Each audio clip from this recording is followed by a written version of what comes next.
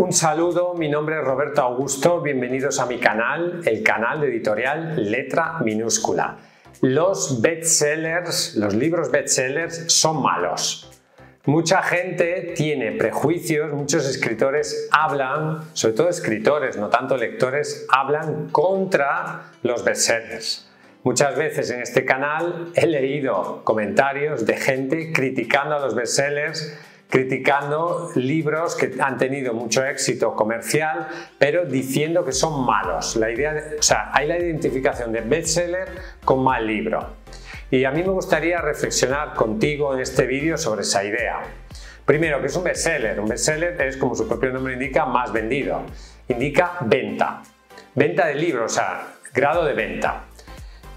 Todos sabemos que muchísimas obras consideradas obras maestras de la historia de la literatura han sido bestsellers, son bestsellers, por ejemplo Hamlet, Romeo y Julieta, El Quijote, eh, no sé, muchísimos libros muy famosos, Cien años de soledad, son bestsellers.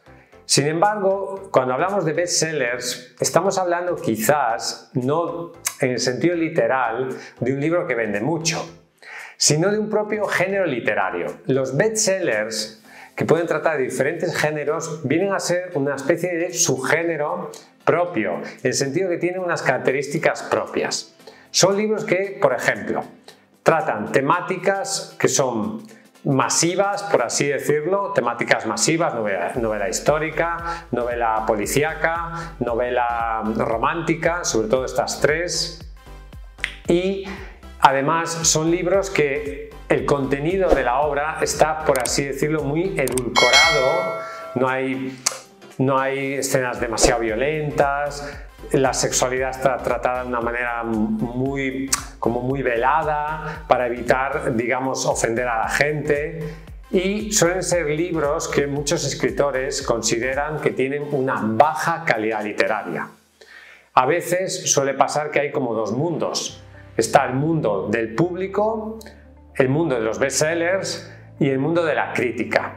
Y rara vez se da el caso en que un mismo autor consigue el aplauso del público, vender muchos libros y además consigue el aplauso de la crítica.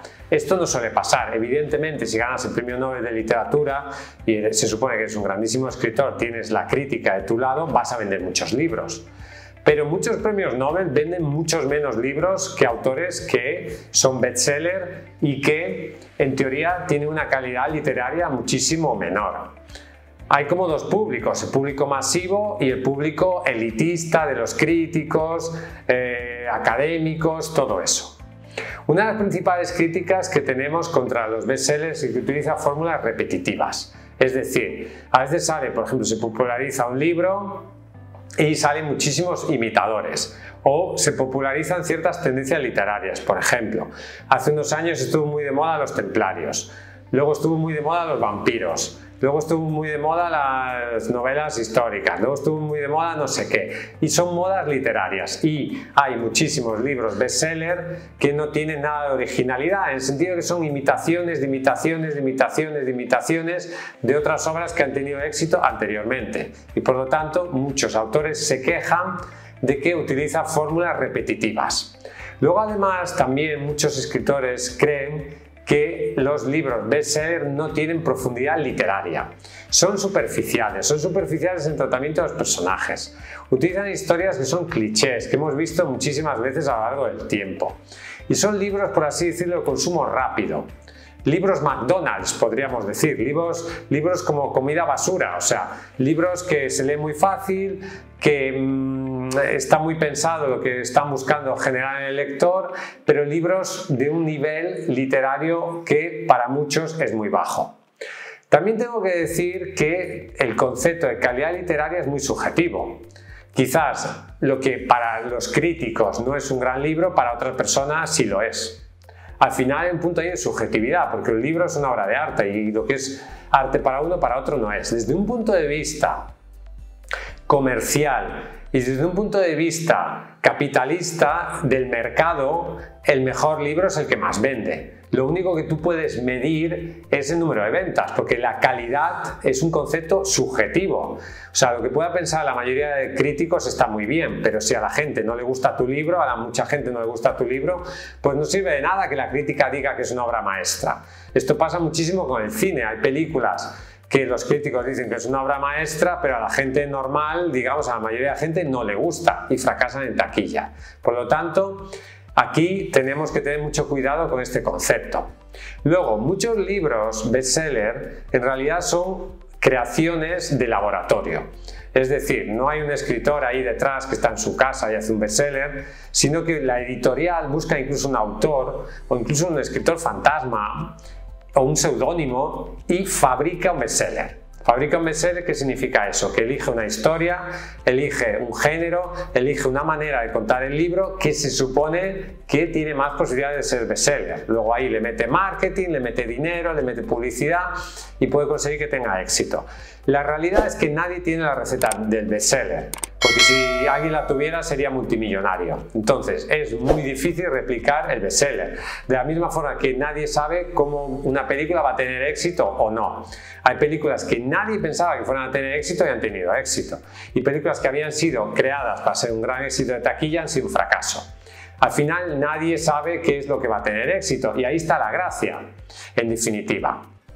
Luego, también, ¿qué pasa? Que muchos bestsellers son imitaciones. Y luego además muchas personas se dedican a imitar a esos bestsellers. Entonces tenemos ahí un montón de imitadores, de imitadores, de imitadores y toda una especie de pseudo literatura de muy baja calidad. Los libros bestseller a veces lo que buscan es simplemente la novedad y el entretenimiento. Y tenemos por un lado este valor que es el valor del entretenimiento y por otro lado el valor literario.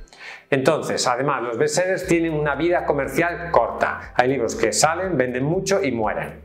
Sin embargo, una de las principales características que nos permiten diferenciar si un bestseller tiene realmente calidad o no es cuánto vive ese bestseller, cuánto dura. Por ejemplo, un libro como Hamlet, ¿eso es, es un bestseller? Sí, en sentido literal del término sí, pero en el sentido convencional, en el sentido habitual, no porque es un libro que en realidad es un libro que se ha vendido durante muchísimos siglos, siglos, y siempre se va a vender, siempre va a ser un bestseller.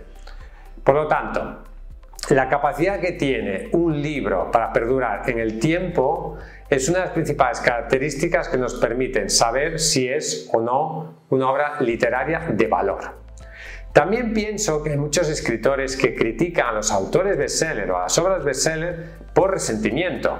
Es decir, les gustaría tener el mismo éxito que ha tenido ese escritor, les gustaría vender millones de ejemplares como ese escritor, pero como no son capaces de hacerlo, porque no han acertado, no han conseguido acertar con, con esa tecla del éxito, pues eso les genera muchísimo resentimiento y critican a los autores bestseller, dicen que son malos, etc. Pero en realidad lo que sienten es envidia porque les gustaría tener el éxito que ellos han tenido.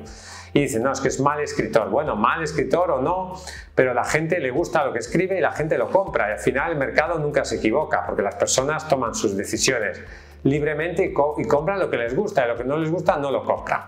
Por lo tanto, yo en vez de criticar a los libros bestseller, lo que intentaría hacer es aprender de ellos porque tienen técnicas narrativas, estilos narrativos, temáticas narrativas que te pueden ayudar a llegar a un público más masivo.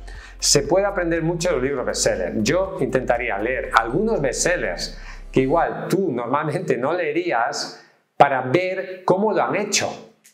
Y eso te puede proporcionar un conocimiento literario que puedes utilizar en tus propios libros.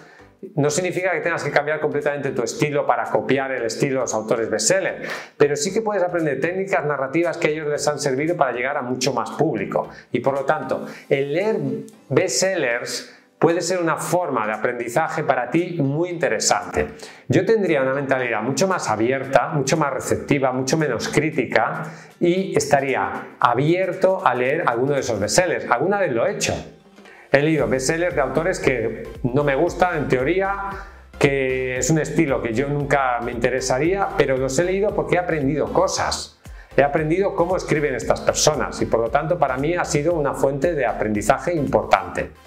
Por eso, antes de rechazar de plano decir bestsellers no, yo leería algunas de esas obras e intentaría aprender algo sobre ello, porque siempre puede ser una fuente de conocimiento interesante para ti.